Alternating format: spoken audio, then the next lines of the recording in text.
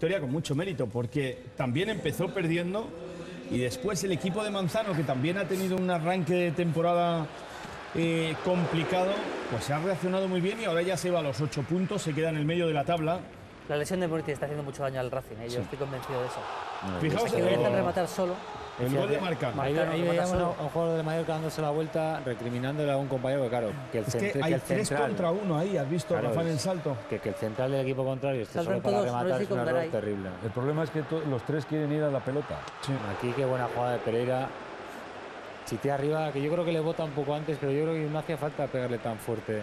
No. Ya que quería asegurar, yo creo que le ha botado un poquito el balón. Otra para Chité. Ahí Sí, es cuando el Racing estaba a punto se de matar el se le va el control largo. Si, la- si la hubiera, hubiera amortiguado bien, hubiera tenido un golpeo bastante más sencillo.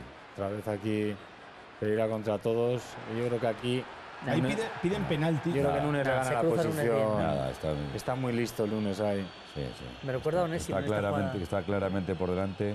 Sí, bueno, tiene un aire. ¿Verdad? Sí, un poquito ahí. tiene un Y aire. también alguna cosilla a Munitis también. Bueno, y atención a Varela, que es, es un poco casquero en, en el golpeo del balón. ¿no? ¿Cómo se la dos o tres semanas deja un golazo de este tipo. fijaros qué jugada inicia Corrales, que ha hecho un partido fantástico desde su campo, qué bien abierto. Y es que lo hace todo con la zurda, ¿eh? Lo hace muy bien.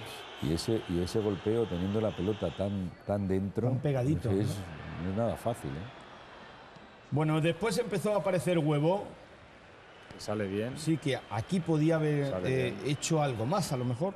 Pues tenía muy encima ya. La pelota, la se, le queda, se le queda un poco, un poco frenada con el, Pero fijaos cómo Huevo empieza a llevar el pánico a, a la portería del Racing. Vaya control Sí. buenísimo que había hecho. Estamos viendo ya que el Racing con la defensa bastante adelantada y entonces le- les están cogiendo con, con balones a la, a la espalda.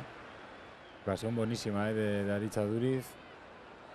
Una ocasión que va a acabar en las manos del portero del Racing. Y Mallorca llegando a una barbaridad. Sí, ¿eh? muchísimo.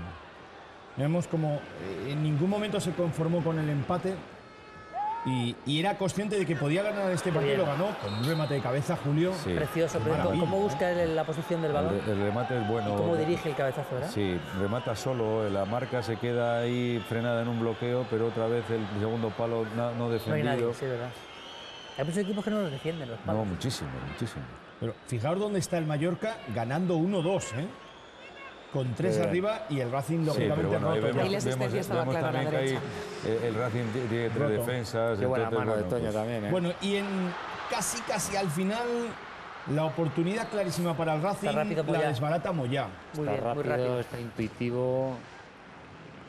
Aquí, yo creo que aquí, esos tres o cuatro pasos que da hacia Sí. adelante. Valiente también, sí. Cómo le recorta el sitio, ¿eh? sí.